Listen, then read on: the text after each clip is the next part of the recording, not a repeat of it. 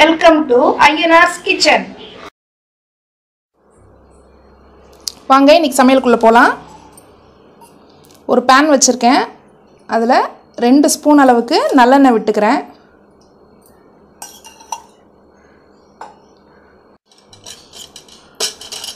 அந்த எண்ணெய் காஞ்சோன்னே அதில் ஒரு ஸ்பூன் அளவுக்கு சீரகம் அரை ஸ்பூன் அளவுக்கு மிளகு.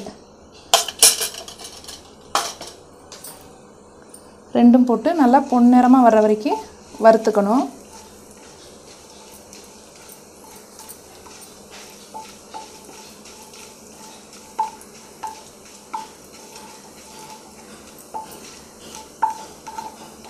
இந்த அளவுக்கு வறுபட்டுச்சுன்னா போதும். அதில் ஒரு பவுல் வெங்காயம்.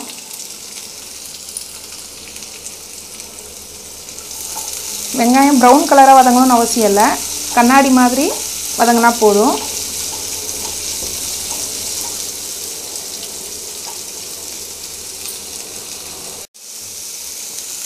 இந்த அளவுக்கு வெங்காயம் லைட்டாக கலர் மாறினா போதும்.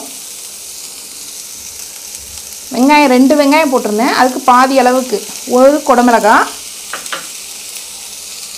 அதுக்கு சமமாக ரெண்டு தக்காளி. குடமிளகாய் தக்காளி ரெண்டும் ஒன்றாவே சேர்த்துக்கலாம். சேர்த்து தக்காளி நல்லா வேகிற வரைக்கும் வதக்கிக்கோங்க.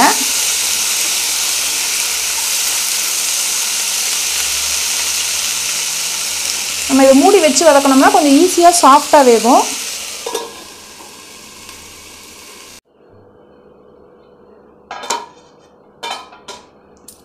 இந்த அளவுக்கு தக்காளி வதங்கினா போதும். ரொம்ப வதங்கணும்னு அவசியம் இல்லை. நல்லா தக்காளி வெந்துச்சுன்னா போதும். கரையணும்னு அவசியம் இல்லை. இப்போ இதை நல்லா ஆற வச்சு ஒரு மிக்ஸி ஜாரில் போட்டு நைஸ் பேஸ்ட்டாக நீங்கள் அரைச்சி எடுத்துக்கோங்க. குறையும் எப்படி செய்கிறதுன்னு பார்க்கலாம். அடுப்பில் ஒரு பேன் வச்சுருக்கேன். அதில் ரெண்டு ஸ்பூன் அளவுக்கு எண்ணெய். நான் நல்லெண்ணெய் விட்டுருக்கேன். தேங்காய் எண்ணெய் ஸ்மெல் பிடிக்கிறவங்க நீங்கள் தேங்காய் எண்ணெய் கூட விட்டுக்கலாம். இந்த சமையலுக்கு தேங்காய் எண்ணெயும் ரொம்ப நல்லா மேட்ச் ஆகும்.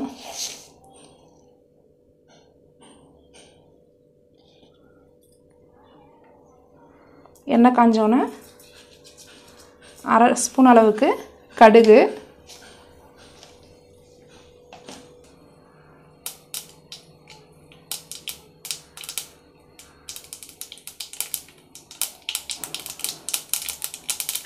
கடுகு நல்லா பொரிஞ்சோன்னே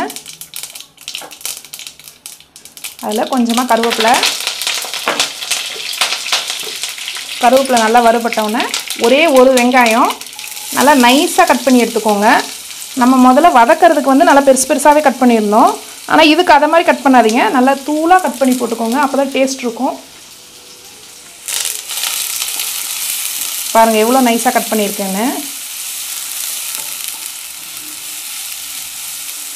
அப்போ தான் உங்களுக்கு அந்த மசாலாவில் வந்து அந்த ஆனியனே தெரியாமல் அந்த ஆனியனுடைய ஸ்வீட் டேஸ்ட் மட்டும் வரும்.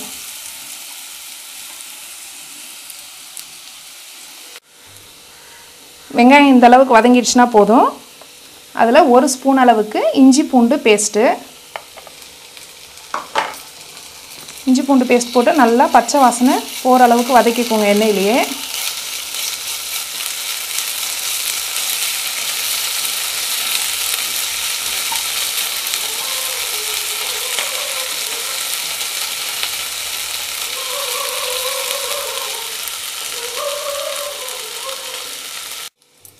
நல்லா இஞ்சி பூண்டு பச்சை வாசனை போயிடுச்சு.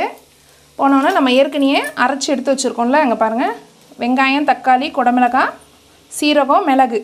இதெல்லாம் நல்லா வதக்கிட்டு இந்த பாருங்கள் எந்த அளவு நைஸ் பேஸ்ட்டாக அரைச்சிருக்கேன்னு இதை நம்ம அப்படியே இந்த இதில் சேர்த்துக்கலாம்.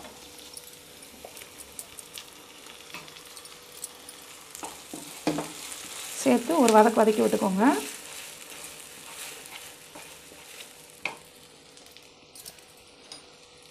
இதில் அரை ஸ்பூன் அளவுக்கு மிளகாய்த்தூள்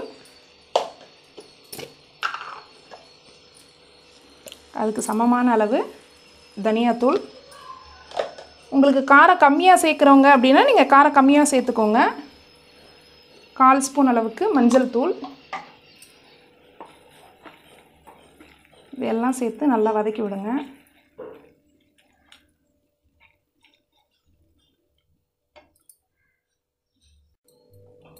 நல்லா வதக்கிட்டு இந்த ஜார்லேயும் கொஞ்சமாக தண்ணி விட்டு அதை சேர்த்துட்டேன்.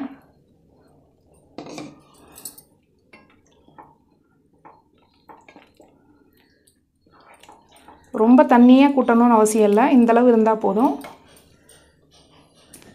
இப்போ இதில் தேவையான அளவுக்கு உப்பு.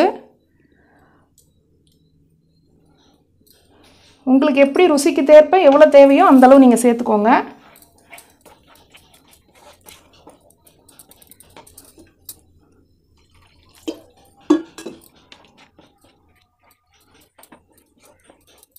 ஃபஸ்ட்டு மூடி வச்சுருங்க. ஒரு அஞ்சு நிமிஷம் அந்த மசாலாவுடைய பச்சை வாசனைலாம் போகட்டும்.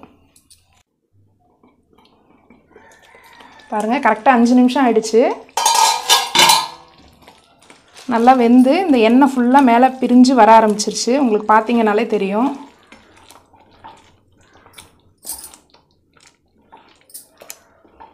இந்தளவு நல்லா பச்சை வாசனை போய் மசால் வெந்ததோடனே நம்ம இதில் மீன் சேர்த்துக்கலாம். நான் மீன் வந்து பாறை மீன் வாங்கி க்ளீன் பண்ணி எடுத்து வச்சுருக்கேன். இது கால் கிலோ. ஆனால் ஒரு கிலோ சைஸில் உள்ள மீன் வாங்குனீங்க அப்படின்னா தான் உங்களுக்கு முள் இல்லாமல் இந்த மாதிரி கட் பண்ணிவிட்டு தருவாங்க. நீங்கள் வஞ்சர மீன் கொடுவா மீன் பாறை வகையில் எந்த வகை வேணும்னாலும் ஒரு கிலோ சைஸ் இருக்கிற மாதிரி மீன் வாங்குனீங்க அப்படின்னா உங்களுக்கு இந்த மாதிரி அழகாக கட் பண்ணி தருவாங்க. நீங்கள் ஃபிஷ் ஃபிங்கர் செய்யணுன்னாலும் இந்த மாதிரி செய்யலாம். நார்மல் ஃப்ரை பண்ணணுன்னாலும் பண்ணலாம். இந்த கிரேவிக்கு இது ரொம்ப நல்லாயிருக்கும் மீன் வந்து குழந்தைங்களுக்கு ரொம்ப நல்லது உடம்புக்கு. நீங்கள் அப்படியே இதில் ஒரு ஒரு மீனாக எடுத்து சேர்த்துடலாம். நீங்கள் எப்போவுமே குழந்தைங்களுக்கு தேங்காய் பாறை மீன் இதெல்லாம் வாங்கி கொடுத்தீங்க அப்படின்னா நல்ல இம்யூனிட்டி பவர் குழந்தைங்களுக்கு கூடும். குழந்தைங்களுக்கு பால் கொடுக்குறவங்களா இருந்தால் நிறைய தாய்ப்பால் ஊருன்னு சொல்லுவாங்க இந்த மீன் சாப்பிட்டீங்க அப்படின்னா. அந்த அளவுக்கு உடம்புல எல்லா சத்துக்களையும் கூட்டி கொடுக்கும்.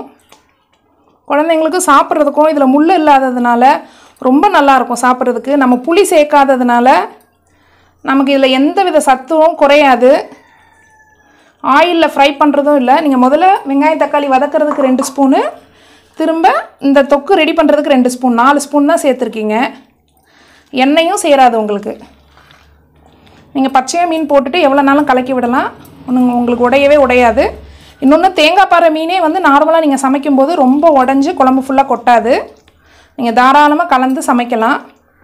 நீங்கள் வாங்கி சாப்பிட்டு பார்த்துட்டு சொல்லுங்கள் தேங்காய் பாறை மீன் நல்ல டேஸ்ட்டில் இருக்கும். எல்லாருமே கேட்டாங்க மீன் என்னென்ன? மீன் வாங்கினா எப்படி டேஸ்ட் இருக்கும்னு? நான் இன்றைக்கி சொல்லியிருக்கேன். ஃபஸ்ட்டு மீன் தேங்காய் பாறை மீன். போட்டு நல்லா இதை மாதிரி கலந்துட்டு க- மூடி வச்சு அஞ்சுலேருந்து ஏழு நிமிஷம் விடுங்க. அப்போது அந்த தொக்கை ஃபுல்லாக உள்ளே இழுத்து நல்லா சூப்பராக வரும். பாருங்கள் நம்ம மூடி கரெக்டாக ஏழு நிமிஷம் ஆயிடுச்சு. மீனுடைய எண்ணெய் ஃபுல்லாக வெளியே வந்துருச்சு. மீனும் உங்களுக்கு பாருங்கள் நல்லா சாஃப்டாக வந்துருச்சு.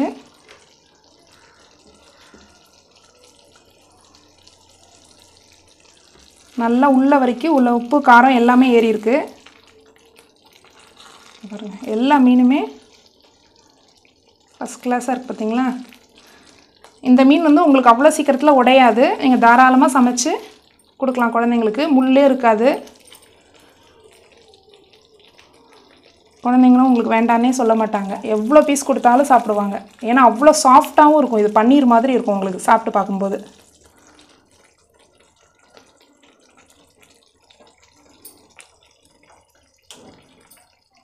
இந்த ரெசிபி உங்களுக்கு பிடிச்சிருந்ததுன்னா லைக் பண்ணுங்கள் ஷேர் பண்ணுங்கள் கமெண்ட் பண்ணுங்கள் சப்ஸ்கிரைப் பண்ணுங்க. பக்கத்துலேயே இருக்கிற பெல் ஐக்கானை கிளிக் பண்ணுங்க.